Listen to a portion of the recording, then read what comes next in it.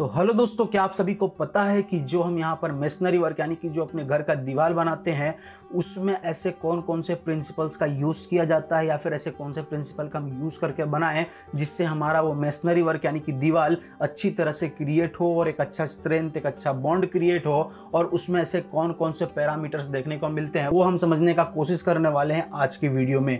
और साथ ही साथ यह जानने का ट्राई करेंगे कि ऐसे कौन कौन से टूल्स वगैरह का यूज़ किया जाता है उसके अंदर, जिससे उसको बनाने में आसानी होती है और एक अच्छी तरह से बॉन्ड और एक अच्छी तरह से स्ट्रेंथ और एक अच्छी क्वालिटी का मेसनरी वर्क यहाँ पर क्रिएट होता है।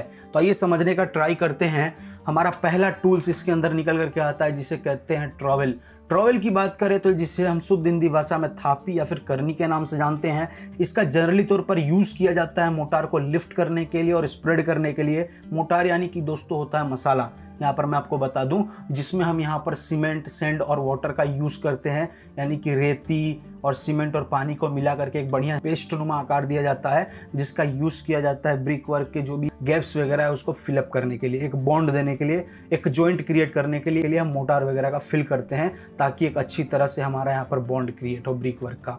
तो ये उसके लिए यूज़ किया जाता है ट्रोवेल यानी कि उसको उठाने के लिए और स्प्रेड करने के लिए, और साथ ही साथ इसका यूज़ किया जाता है ब्रिक को कट करने के लिए। ब्रिक को अगर हमें दो हिस्से में कट करना है तो हम इसका यूज़ करके, इसकी सार पेजिस का यूज़ करके हम ब्रिक को अच्छी तरह से कट कर सकते हैं। आगे की ओर बड़े दोस्तों तो आता है यहाँ पर प्लम रूल जिसे हम प्लम बप कहते हैं। इसका यूज़ होता है दोस्तों वर्टिकलिटी ऑफ़ द वर्क को चेक करने के लिए। यानी कि दोस्तों, जो हमारा यहाँ पर स्ट्रक्चर है, वो वर्टिकली डायरेक्शन में अच्छी तरह से स्टेबल खड़ा है कि नहीं है, या फिर उसमें कुछ यहाँ पर आगे की ओर खिसक गया है, या फिर पीछे की ओर दब गया है, उसको चेक करने के लिए एक प्रॉपर एलाइनमेंट को देखने के लिए हम इसका यूज़ करते हैं। देख सकते हो यहाँ पर यूज़ किया गया जिस तरह से ये हमने वॉल क्रिएट किया है। अब उसकी सरफेस को अगर हम यहाँ पर चेक करना है तो इस तरह से देख सकते हो ये पट्टी पर ला करके चेक किया है। अगर वॉल आगे होती तो जिसके कारण क्या रहता है, ये प्लम्बअप सीधा है, वो अंदर की ओर दबने का ट्राई करता, वही अगर वॉल पीछे होती तो ये यहाँ पर प्लम्बअप आगे की ओर भागने का ट्राई करता, जिससे हमें अलाइनमेंट पता चल जाता वर्टिकल डायरेक्शन में कि वॉल हमारा अच्छी तरह से क्रिएट हुआ है कि नहीं। अगर ये पट्टी का ना यूज़ करके आप डायरेक्टली अगर यहाँ पर डोरी यानी कि जो लाइन है और जो प्लम्बर पर उससे यूज़ करेंगे तो आप मेज़रमेंट की मदद से भी चेक कर सकते हैं। यानी कि यहाँ पर अगर आपको 80 एम mm मिल रहा है तो वही सेम ऊपर की ओर आपको 80 एम mm मिलना चाहिए, यानी कि 80 एम mm वहाँ पर ऊपर भी देखने को मिलना चाहिए। जिससे हम कह सकते हैं कि प्रॉपरली जो इसकी अलाइनमेंट है, वो यहाँ पर बराबर जा रही है, यानी कि एक सीधे वर्टिकल डायरेक्शन में ये जा रहा है। ऐसा हम कह पाएँगे। अब आगे की ओर देखें दोस्तों तो आगे हमारा यहाँ पर आता है स्पिरिट लेवल। स्पिरिट लेवल की बात करें तो बेसिकली इसका यूज़ किया जाता है दोस्तों होरिजेंटली जो यहाँ पर वर्क हमारा जा रहा है, वो अच्छी तरह से होरिजेंटल में है कि नहीं है? यानी कि होरिजेंटल एक लेवल में है कि नहीं है?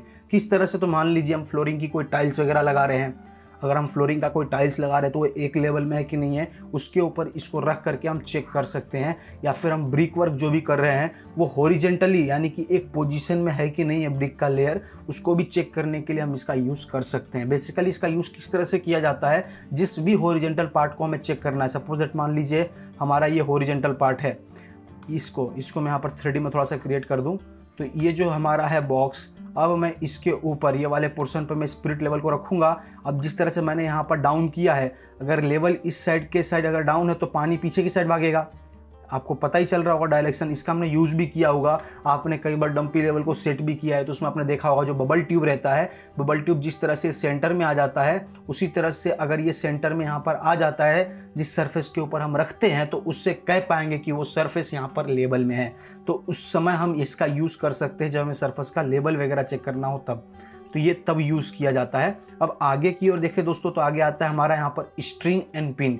String and pin यानी बेसिकली इसे हम लाइन डोरी के भी नाम से जानते हैं।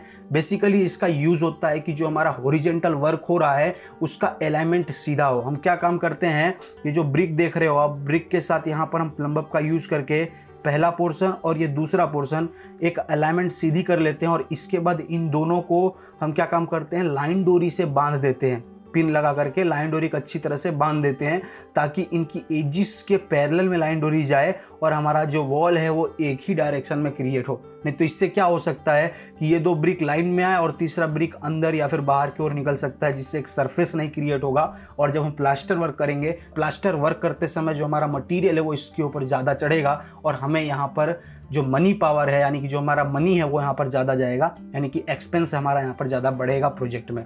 तो इस चीज़ का ध्यान रखना चाहिए हमें कि एक अलाइनमेंट में एक सरफेस अच्छी तरह से क्रिएट हो by the using of string and pin तो इसका हमें यूज़ करना चाहिए। और इसकी मदद से हम वॉल वगैरह को भी चेक कर सकते हैं कि एक लाइन एक डायरेक्शन में बन रहा है कि नहीं। फिर इसके बाद आगे की ओर देखें तो आता है स्केबलिंग हैमर स्केबलिंग हैमर यानी कि बेसिकली इसका यूज़ किया जाता है प्रोजेक्शंस हो जिसके ऊपर स्टोन्स की बात कर लो या फिर ब्रिक वगैरह की बात कर लो तो उसको ब्रेक करने का काम करता है, जो भी यहाँ पर स्मॉल प्रोजेक्शंस होते हैं। स्मॉल प्रोजेक्शंस यानी कि ब्रिक वगैरह पर जो भी कुछ एक्स्ट्रा अगर बर्न करके यहाँ पर मतलब क्ले वगैरह में फूल गया हो या फिर एजिस वगैरह शार्प ना हो, कुछ वहाँ पर अलग से क्रिएट किया तो उसको साफ़ करने में या फिर ऐसा भी कह सकते हो, जिस सरफेस के ऊपर आप मेसनरी वर्क कर रहे हो, वहाँ पर कुछ एजिस पर या फिर बीच में कुछ आ रहा हो ऑब्स्टेकल क्रिएट हो रहा हो तो उसको आप इसकी मदद से तोड़ सकते हो। तो स्केबलिंग हैमर वहाँ पर काम आता है। अब आगे की ओर देखें तो आगे आता है यहाँ पर बोल्स्टर बोल्स्टर की बात करें तो बेसिकली ये ब्रिक को कट करने का काम करता है इन अ मिडिल पोर्शन ऐसा कह सकते हो कि अगर क्रॉस सेक्शन से कट करना हो या फिर एक्यूरेटली एक साइज़ के हिसाब से कट करना हो, मान लो कि हमें एक बाट चाहिए, यानी कि हाफ़ ऑफ़ पोर्शन हमें ब्रिक को कट करना हो, तब हम यहाँ पर बोल्स्टर का यूज़ करते हैं। देख सकते हो ये हमारा बोल्स्टर है। इस तरह से कुछ छेनी के आकार का होता है, जिसे चिजल्स कहते हैं, छेनी यानी चिजल्स बट ये छेनी की तरह नहीं होता। इसकी जो यहाँ पर सरफेस ऑफ़ एजिस रहती हैं, वो यहाँ पर कुछ चौड़ी पाई जाती हैं, यानी कि साइज़ ऑफ़ ब्रिक का जो विर्थ है उसके बराबर रहता है, जिससे हम आसानी पूर्वक एक लेयर और एक अच्छी एक्यूरेट फॉर्म में ब्रिक को कट कर पाते हैं। तो कुछ इस तरह से इसका यूज़ किया जाता है। अब आगे की ओर देखिए तो आगे आता है हमारा यहाँ पर club hammer club hammer basically इसका जो दोनों पोर्शन रहता है, वो यहाँ पर स्क्वायर फॉर्म में रहता है, जिसके कारण हम अच्छी तरह से हैमरिंग कर पाते हैं, यानी कि ठोक पाते हैं, किसी भी चीज़ को ठोकना हो, जिस तरह से मैंने अभी बताया आपको बोल्स्टर उसको अच्छी तरह से हमें ठोकने के लिए कोई तो इंस्ट्रूमेंट चाहिए ना, ताकि हम उसको प्रेस कर पाएँ तो हम इसका यूज़ करते हैं। फिर इसके बाद आगे की ओर देखें तो आता है स्क्वायर जिसे राइट एंगल भी कहते हैं। इसका मल्टीपल यूजेस है बट बट ब्रिक मेसनरी की तरह हम बात करें तो ब्रिक मेसनरी में जो भी हम वॉल्स वगैरह रूम के बना रहे हैं, उनका यहाँ पर राइट एंगल में जो भी एजिस हैं, वो है कि नहीं है, यानी कि जो कोने हम बना रहे हैं, वो राइट एंगल में जा रहे हैं कि नहीं जा रहे हैं, जहाँ से वॉल घूम रही है, वो पोर्सन राइट एंगल है कि नहीं है, वो चेक करने के लिए भी हम इसका यूज़ करते हैं। ये है यहाँ पर इंस्ट्रूमेंट्स के यूजेस ये बेसिकली ब्रिक मशीनरी के लिए हैं, और भी बहुत सारे टूल्स हैं जिनका यूज़ किया जाता है तो वो ज़्यादातर देखें तो वो स्टोन वर्क के लिए यूज़ किया जाता है, यानी कि स्टोन मशीनरी में यूज़ किया जाता है। तो उसको हम आने वाले वीडियोस वगैरह में भी बात करेंगे और भी टूल्स वगैरह की। अब बात आती है प्रिंसिपल्स की जो ब्रिक मशीनरी में यूज़ होते हैं, जिनकी मदद से हम यहाँ पर समझ पाएँगे कि कौन कौन से ऐसे पॉइंट्स हैं जो हमें कंसीडर करना चाहिए ब्रिक मशीनरी करते समय। तो उससे पहले थोड़ा यहाँ पर समझने का ट्राई करिए कि ब्रिक मशीनरी का यहाँ पर अगर देखें तो उसमें दो टाइप निकल करके आता है ब्रिक का। एक रहता है हमारा यहाँ पर ट्रेडिशनल ब्रिक और दूसरा आता है दोस्तों यहाँ पर मॉडुलर ब्रिक ये बेसिकली साइज़ के आधार पर है। किस तरह से? तो आप समझने का ट्राई करिए कि जो ट्रेडिशनल ब्रिक है, वो यहाँ पर उसका कोई भी स्टैंडर्ड साइज़ नहीं रहता। Have not been standard size because इसका जो यूजेस है तो देखिए तो ये ज़्यादातर good of appearance of elevation के लिए यूज़ किया जाता है। इसकी साइज़ एरिया के हिसाब से चेंज होते रहती है। जिस तरह से आप यहाँ पर देख पा रहे हो, जो इसका यहाँ पर लेंथ है, वो लेंथ यहाँ पर वेरी करता है पंद्रह से पच्चीस सेंटीमीटर और जो इसका यहाँ पर विर्थ है, वो यहाँ पर वेरी करता है नाइन टू ट्वेंटी सेंटीमीटर और जो इसकी थिकनेस यानी कि जो डेप्थ है, वो वेरी करती है यहाँ पर फाइव टू टेन सेंटीमीटर तो इस तरह से ये एरिया वाइज हमेशा चेंज देखने को मिलता है। देख सकते हो लिखा है traditional bricks very from place to place यानी कि हर प्लेस के हिसाब से ये वेरी करने का काम करता है, यानी कि इसकी साइज़ हमेशा चेंज होते रहती है। अब आगे की ओर देखें तो आगे आता है हमारा यहाँ पर modular brick basically modular brick का क्या है? इंडियन स्टैंडर्ड इंस्टीट्यूशन से क्या रहता है? सजेस्टेड रहता है किसके लिए? यूनिफॉर्म साइज़ के लिए। इसका यूनिफॉर्म साइज़ मिलता है। होल कंट्री की बात करें, यानी कि अपनी पूरी कंट्री में इसकी साइज़ यहाँ पर यूनिफॉर्म देखने को मिलती है। और बेसिकली इसकी बात करें तो साइज़ वगैरह की तो साइज़ वगैरह इसका जो नॉमिनल साइज़ है। वो नॉमिनल साइज़ इसका बीस, दस और दस पाया जाता है। यानी कि बीस इसका लेंथ है और दस इसका यहाँ पर विर्थ है और दस इसका यहाँ पर डेफ्थ है। तो ये है हमारा इसका नॉमिनल साइज़ नॉमिनल साइज़ यानी कि इसके साथ हमेशा मोटार जो है, जो यानी कि हम एक सेंटीमीटर का गैप छोड़ते हैं, वो फिलअप करने वाला पोर्शन इसके अंदर प्लस रहता है, वो ये इसकी कहलाती है नॉमिनल साइज़ वही इसकी एक्चुअल साइज़ की बात करें तो ये 19 centimetre by 9 centimetre by 9 centimetre देखने को मिलता है। ये इसकी एक्चुअल यानी ब्रिक की साइज़ है, जो ब्रिक एक्चुअल बन करके आता है वो। बट नॉमिनल साइज़ के अंदर हमेशा मोटार का जो है, वो वैल्यू हमेशा प्लस रहता है। देख सकते हो, लिखा है nominal size is includes the mortar thickness mortar thickness इसके अंदर हमेशा इंक्लूड रहता है। और देख सकते हो मॉड्यूलर ब्रिक्स का यहाँ पर मैंने ब्रिक के साथ रखा हुआ है। कुछ इस तरह से रहता है इसकी साइज़ जिस तरह से मैंने बताया। ये यहाँ पर आपका लेंथ रहता है, ये आपका विर्थ कहलाएगा और ये आपका डेफ्थ यानी कि थिकनेस कहलाएगा। कुछ इस तरह से ये रहता है। अब आगे की ओर देखें दोस्तों तो अब आता है इसका जनरल कुछ प्रिंसिपल जिसके आधार पर हम चेक कर सकते हैं, या फिर इसके आधार पर हम यहाँ पर कोई भी वर्क करवा सकते हैं मैसनरी जिससे हमारा यहाँ पर गुड ऑफ़ अपेरेंस और गुड ऑफ़ क्वालिटी का मैसनरी वर्क यहाँ पर क्रिएट हो पाए। तो आइए देखने का ट्राई करते हैं। पहला दोस्तों कहता है यहाँ पर कि जो हम यहाँ पर ब्रिक इस्तेमाल कर रहे हैं वो हमेशा अच्छी क्वालिटी का हो, जिसके अंदर से good quality of soundness create हो। यानी कि जब हम दो ब्रिक को यहाँ पर एक दूसरे के साथ टकराएँ तो एक मेटालिक साउंड क्रिएट होना चाहिए। वो ब्रिक हार्ड होना चाहिए और अच्छी तरह से उसको बर्न किया हो, यानी कि अच्छी तरह से उसको पकाया हो तो उस ब्रिक का यूज़ हम कर सकते हैं अपनी कंस्ट्रक्शन वर्क के अंदर में। जो भी उसके यहाँ पर टेक्सचर्स वगैरह है, वो यहाँ पर नेल की मदद से निकालने का ट्राई करें तो ना निकले। इसकी मैंने एक वीडियो बना करके रखी है कि ब्रिक को किस तरह से चेक किया जाता है। आप चाहो तो जा करके चेक कर सकते हो। यहाँ पर आई बटन में उसकी लिंक आपको दिख रही होगी। आगे की ओर देखिए दोस्तों तो आगे आता है यहाँ पर यूनिफॉर्म साइज़ एंड कलर होना चाहिए। यानी कि एक अच्छी साइज़ इस तरह से मैंने बताया कि जो एक स्टैंडर्ड है यहाँ पर हमारा साइज़ का, हर जगह यूनिफॉर्म पाया जाता है तो आप कहीं से भी रह करके, कहीं पर भी आप चेक करोगे तो साइज़ उतना ही मिलने वाला है। तो जो ब्रिक की एक्चुअल साइज़ है, आप उसको चेक कर सकते हो 19 centimetre by nine centimetre by nine centimetre और कलर उसका रेडिस यहाँ पर देखने को मिलता है, यानी कि रेड कलर का रहता है रेडिस ब्रिक देखने को मिलता है या फिर येलो ब्रिक भी देखने को मिलता है, आप उसके आधार पर कलर भी चेक कर सकते हो। अब इसके बाद आगे की ओर देखें तो आगे आता है यहाँ पर कि जब आप ब्रिक वर्क यानी कि जब आप मेसनरी वर्क कर रहे हो तो उससे दो घंटे पहले या तीन घंटे पहले आप उस ब्रिक को अच्छी तरह से क्या काम करो? सोक्ड कराओ क्या? पानी। पानी हो, अच्छी तरह से पिया हो, यानी कि अच्छी तरह से वो सोख लिया हो, तब उसका यूज़ करो आप मेसनरी वर्क के टाइम पे। बिकॉज़ अगर आप उससे पहले यूज़ करते हो तो जो भी यहाँ पर आपका मोटार है, यानी कि जो भी आपने मसाला बनाया है तो उसके अंदर का एक्सिस ऑफ़ वाटर कह लो, या फिर जितना भी आपने वाटर यूज़ किया होगा, वो सारा यहाँ पर ये ब्रिक सोख लेगा, जिसके कारण मोटार की जो स्ट्रेंथ रहेगी, वो यहाँ पर लूज़ कर जाएगी। क्योंकि आप सभी को पता है कि सीमेंट एक ऐसा एजेंट है जिसके अंदर लाइम का कंटेंट ज़्यादा पाया जाता है। लाइम को पानी की मात्रा ज़्यादा चाहिए रहती है बिकॉज़ ऑफ़ उसकी हीट ऑफ़ हाइड्रेशन की वजह से। उसके अंदर जो हीट क्रिएट होती है, गर्मी जो क्रिएट होती है, उसकी वजह से उसको पानी यहाँ पर ज़्यादा चाहिए रहता है। अगर उसके अंदर पानी चाहिए तो हमारा ब्रिक भी तो पानी पीता है। तो ब्रिक को पहले से ही पानी पिला दो, जिसके कारण जितना हमने उसके अंदर पानी ऐड किया है, वो उतने पानी के कारण हमें एक अच्छा स्ट्रेंथ मोटर के अंदर देखने को मिले और हमारा जो यहाँ पर बॉन्ड है वो अच्छी तरह से क्रिएट हो। अब आगे की ओर चलें तो आगे हमारा यहाँ पर आता है दोस्तों कि जो भी हमारा यहाँ पर बेड्स है, आपने ब्रिक को देखा ही होगा, फिर भी मैं यहाँ पर आपको बता दूँ, एक छोटा सा ब्रिक का डायग्राम बना करके कि जो हमारा ये ब्रिक है, कुछ इस तरह से दिखता है। ये मैं काम करता हूँ, पीछे दिखा देता हूँ यहाँ पर ऑलरेडी हमने ब्रिक लिया ही है। तो ये ब्रिक हमने जो लिया है तो ये वाला पोर्सन है, इसको कहते हैं हम यहाँ पर फ्रॉग ये हमारा फ्रॉग है तो जो नीचे वाला पोर्सन है, वो हमारा कहलाता है यहाँ पर बेड तो जो बेड है वो हमेशा कहाँ पर होना चाहिए? ये डाउनवर्ड डायरेक्शन में होना चाहिए और जो फ्रोग है वो अपवर्ड डायरेक्शन में होना चाहिए। वही ये यहाँ पर पॉइंट कह रहा है बेसिकली देख सकते हो जो हमारा बेड है वो यहाँ पर basically laid on their beds यानी कि जो भी हमारा बेड है, वहाँ से हमें लेड करना है, यानी कि बिछाना है, और जो फ्रोग वाला पॉइंटिंग पोर्सन है, वो अपवर्ड डायरेक्शन में होना चाहिए। इससे क्या होगा, जब हम फ्रोग वाले पोर्सन पे मसाला वगैरह फिलअप करेंगे, यानी कि मोटार फिलअप करेंगे तो उसकी रफली पोर्सन की वजह से हमें एक अच्छा बॉन्ड एक अच्छी स्ट्रेंथ यहाँ पर क्रिएट होगी, जिससे हमारा जो भी बॉन्ड वगैरह है, वो अच्छी तरह से यहाँ पर क्रिएट होगा। इसलिए हम यहाँ पर फ्रोग वाले पोर्सन को ऊपर रखते हैं। अब आगे की ओर देखें तो दोस्तों आता है यहाँ पर कि जो हम यहाँ पर मोटार यूज़ करने वाले हैं। अब बात आती है मोटार की तो जो हम यहाँ पर मोटार यूज़ करने वाले हैं, उसकी क्वालिटी अच्छी होनी चाहिए और जो उसका प्रोपोजन है सपोज़ दैट जो भी हम इस्तेमाल कर रहे हैं कि एक तगारा सीमेंट तीन तगारा यहाँ पर रेती तो वो अच्छी तरह से एक प्रोपोजन में ही होना चाहिए। ये नहीं कि हम यहाँ पर एक्सिस ऑफ़ जो भी सीमेंट है, वो बढ़ा दें अच्छी स्ट्रेंथ के चक्कर में। तो जितना सीमेंट बढ़ा होगा उतना हीट ऑफ़ हाइड्रेशन क्रिएट होगा और उतनी जल्दी वॉल आपकी फटेगी। तो ये नहीं है कि हमें सीमेंट बढ़ा ही देना है। तो एक जो प्रोपोजन है, एक जो क्वालिटी है, उसका ही इस्तेमाल करें जिससे आपका एक स्ट्रेंथ अच्छी तरह से क्रिएट हो। ताकि आपका जो भी यहाँ पर वर्क है वो अच्छी तरह से क्रिएट हो।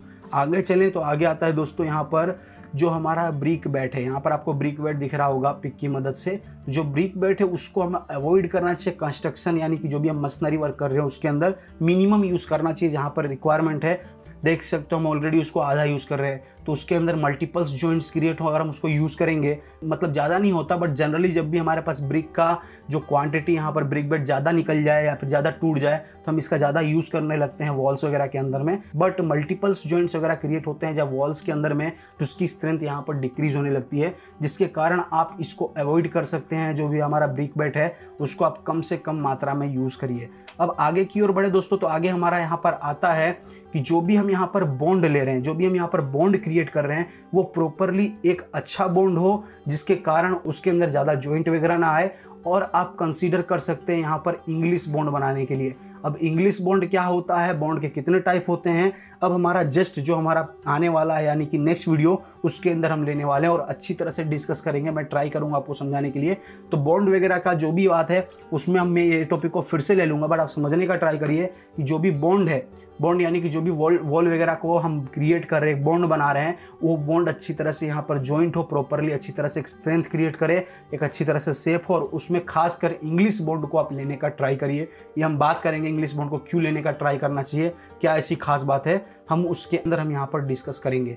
अब आगे की ओर बढ़े तो आगे आता है दोस्तों हमारा यहाँ पर जो भी हम वॉल्स वगैरह बना रहे हैं, वो यहाँ पर एक दिन में, यानी कि वन डे एटलीस्ट आप 1.5 मीटर तक ही कंसीडर करिए बनाने का। जिसके कारण अगर आप इससे ऊपर की ओर जाएँगे तो आपका जो वॉल है, वो यहाँ पर सेटलमेंट हो सकता है। उसका जो यहाँ पर जॉइंट है भी वो ताज़ा होने के कारण उसमें क्रेक्स वगैरह डेवलप हो सकते हैं। तो इसलिए आप उसको अवॉइड कर सकते हैं प्रॉपर स्ट्रेंथ देने के लिए, एक प्रॉपर शेप और एक साइज़ देने के लिए, एक बॉन्ड देने के लिए आप एटलीस्ट 1.5 मीटर तक ही जाइए, इससे ऊपर मत जाइए, क्योंकि हमारा यहाँ पर 1.5 मीटर मेरे हिसाब से वहाँ तक सील लेवल आ ही जाता है। सील लेवल क्या होता है? वो भी आप जाकर के देख सकते हो भी मैंने बताया है सील लेवल क्या होता है लिंटर लेवल क्या होता है घर में।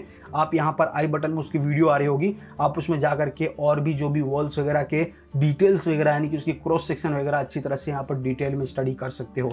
अब आगे की ओर बढ़े, दोस्तों तो यहाँ पर आता है जो प्लास्टर वर्क करते समय हमें यहाँ पर चाहिए रहता स्ट्रेंथ जो वॉल के साथ हमें मिले तो जब हमारा यहाँ पर मोटार जो यूज़ कर रहे हैं हम ब्रिक मिस्त्री में, जब वो ग्रीन हो, यानी कि ताज़ा हो जब हम फिलअप कर रहे हैं तो क्या रहता है कभी कभी ओवरलेप कर जाता है, बाहर की ओर निकल जाता है या फिर पूरा उसके एक सरफेस में फिलअप हो जाता है। बट हम एक काम कर सकते हैं, उसको अच्छी तरह से थोड़ा सा यहाँ पर रफली साफ़ कर दें तो हमें यहाँ पर बारह से उन्नीस एम का गैप मिल जाता है, जिससे जब हम प्लास्टर वर्क करते हैं तो वॉल में थोड़ा सा रफ पोर्शन होने की वजह से प्लास्टर हमारा अच्छी तरह से चढ़ता है और एक प्रॉपर ज्वाइंट यहाँ पर क्रिएट होता है और एक गुड ऑफ़ अपेरेंस यहाँ पर क्रिएट होता है प्लास्टर का, जिससे हमारा अच्छी तरह से सेप और एक बॉन्डिंग क्रिएट होती है। ब्रिक के ऊपर, यानी कि जो हमारा प्लास्टर वो अच्छी तरह से निकल करके आता है। तो ये हमें ध्यान देना चाहिए कि जब भी हम ब्रिक वर्क करें, उसमें हमारा जो भी मोटार है, वो ओवरलेप हो जाए, यानी बाहर की ओर निकल जाए, या फिर उसका एक लेवल में फिलिंग हो जाए तो हम यहाँ पर झाड़ू की मदद से अच्छी तरह से उसको साफ़ कर सकते हैं। यानी कि पहले उसको अच्छी तरह से फिलअप कर दीजिए, फिर उसको साफ़ कर दीजिए, ताकि उसका जो यहाँ पर गैप है, यानी कि रफली पोर्सन निखर करके आए। और ब्रिक के ऊपर जब हम यहाँ पर प्लास्टर वर्क करेंगे तो एक स्ट्रेंथ अच्छी तरह से वहाँ पर डेवलप्ड हो। आगे की ओर देखें तो दोस्तों यहाँ पर आता है, जब हमारा ब्रिक वर्क खत्म हो तो एटलीस्ट उसके एक या दो हफ़्ते तक हमें उसे क्यूरिंग करना चाहिए। यानी कि क्यूरेड करना चाहिए, पानी देना चाहिए। पानी देंगे तभी एक अच्छा स्ट्रेंथ क्रिएट होगा। आपको पता है, जिस तरह से मैंने बताया सीमेंट के अंदर हीट ऑफ़ हाइड्रेशन ज़्यादा क्रिएट होता है, पानी देंगे तो सीमेंट ठंडा रहेगा और जो उसके अंदर के बॉन्ड हैं, यानी कि जो भी उसके अंदर के मटीरियल्स हैं जिप्सम्स वगैरह हो गए, यानी कि जो भी हमारे यहाँ पर सिलिकेट्स वगैरह हमने सीमेंट में इस्तेमाल किया है ऐड किया है, उसकी एक अच्छी तरह से स्ट्रेंथ यहाँ पर निखर करके आए तो हमें उसको अच्छी तरह से पानी वगैरह टाइम टू टाइम देना चाहिए। एटलीस्ट आप पर डे के हिसाब से तीन से चार बार क्यूरिंग करिए, ताकि बॉन्ड वगैरह में अच्छी स्ट्रेंथ यहाँ पर क्रिएट हो। तो दोस्तों, हम यहाँ पर आगे की ओर देखें तो आगे यहाँ पर आता है जो स्केफोल्डिंग हम क्रिएट कर रहे हैं, ऊपर की वॉल्स वगैरह बनाने के लिए, क्योंकि एक बार में तो वॉल्स बना नहीं सकते, जिस तरह से मैंने बताया। 1.5 मीटर आप एटलीस्ट पर डे बनाइए, जिससे आपका वॉल वगैरह गिरे। नहीं तो आप दूसरे दिन जब उसका यूज़ कर रहे हो तो इसमें एक और पॉइंट मैं ऐड करना चाहूँगा कि जब भी आप यहाँ पर दूसरे दिन मेशनरी वर्क इस्तेमाल करें तो जो ऊपर वाला लेयर है, जिस पर आपने मोटार वगैरह फिलअप किया है तो उसमें भी आप यहाँ पर स्क्रेचेस प्रोवाइड कर दे पहले ही। जब हमारा यहाँ पर मोटार ग्रीन होगा, या फिर जब हमारा मोटार यहाँ पर फ्रेश होगा, उसी समय आप वहाँ पर स्क्रेच वगैरह प्रोवाइड कर दें उस मोटार के ऊपर वाले लेयर पर, ताकि हमारा जब दूसरा जॉइंट हम क्रिएट करें तो प्रॉपर यहाँ पर स्ट्रेंथ क्रिएट हो, उस जॉइंट में अच्छी तरह से स्ट्रेंथ हो। और दूसरी बात उसको हम यहाँ पर पहले वाले लेयर यानी कि ऊपर वाले लेयर को, जहाँ से हम ब्रिक वर्क स्टार्ट कर रहे हैं उससे हम यहाँ पर भिजा सकते हैं, गीला कर सकते हैं, ताकि हमारा दोनों का बॉन्ड अच्छी तरह से क्रिएट हो। तो आप इस चीज़ का ध्यान रखिए। और मैं यहाँ पर बता रहा था कि जो हम इसके बाद दूसरी बार जो लेयर स्टार्ट कर रहे हैं, यानी कि ऊपर की तो हाइट यहाँ पर वॉल की लंबी जाएगी तो उसके लिए हमें क्या करना पड़ेगा? उसके लिए हमें यहाँ पर बनाना पड़ेगा स्कैफोल्डिंग स्कैफोल्डिंग क्या होता है दोस्तों? चढ़ने के लिए एक हमें सहायता देता है, जिसके ऊपर खड़े होकर के हम क्या काम करते हैं? ब्रिक वर्क को आगे की ओर लेकर के जाते हैं।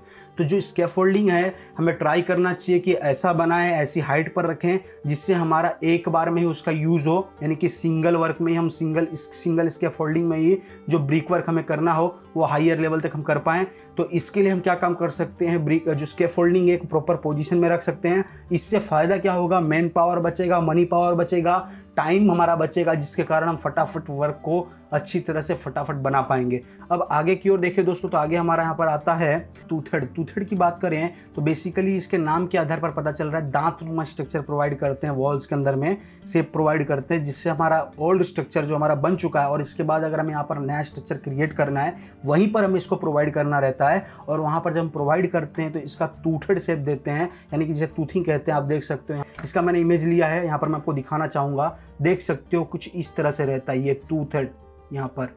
ये देख सकते हो, कुछ दांत नुमा स्ट्रक्चर ये दांत जैसा निकला है और ये खाली रहता है। तो इसमें हम यहाँ पर जो भी हमारा न्यू स्ट्रक्चर स्टार्ट कर रहे हैं, वो हमारा अच्छी तरह से यहाँ पर जॉइंट क्रिएट हो पाए। ओल्ड जॉइंट के साथ न्यू जॉइंट का बट बेसिकली जिस तरह से मैंने बताया था, जब हमारा यहाँ पर मोटार ओवरलैप कर जाता है तो कुछ उस तरह से हम साफ़ कर देते हैं। तो देख सकते हो, ये साफ़ किया गया है, जिसके कारण यहाँ पर जो जॉइंट है, उसमें थोड़ा थोड़ा आपको गैप देखने को मिल रहा होगा। तो इससे क्या होगा? यहाँ पर ये फिनिशिंग वर्क अच्छी दिख रही है। एक वर्क हमें अच्छा दिख रहा है। कभी भी आप ध्यान रखिए कंस्ट्रक्शन वर्क में आपका काम अच्छा दिखना चाहिए, जिसके कारण आपका यहाँ पर नया वर्क या फिर जो भी आपका नया प्रोजेक्ट लेने में सहायता हो। कोई भी आपका वर्क ही देखेगा। तो आई होप आपको टूथिंग का मतलब समझ में आया होगा, जिस तरह से बता रहा था मैं यहाँ पर। तो हमारा था ओल्ड स्ट्रक्चर के साथ जब हम यहाँ पर न्यू स्ट्रक्चर क्रिएट करते हैं तो उसके बीच में को क्रिएट किया जाता है ताकि एक प्रॉपर स्ट्रेंथ मिल सके। आई होप आज की वीडियो आपको अच्छी तरह से समझ में आई होगी। इसके अंदर मैंने सारा डिटेल्स वाइज आपको बताने का ट्राई किया है एक एक टर्म्स को अच्छी तरह से समझाया है। इसके रिलेटेड में कोई भी डाउट हो तो आप मुझे पूछ सकते हो। आपको पीपीटी टेलीग्राम चैनल पे मिल जाएगी, आप जाकर के ले सकते हो। उसका लिंक वगैरह मैं यहाँ पर डिस्क्रिप्शन में डाल दूँगा और आई होप आज की वीडियो आपको अच्छी लगी हो। आज का वीडियो आपने देखा और समझा, उसके लिए तहे दिल से आपको thank you so much for watching my video दोस्तों। मिलते हैं अपनी नेक्स्ट वीडियो में। आज के लिए इतना ही। Bye bye take care and good bye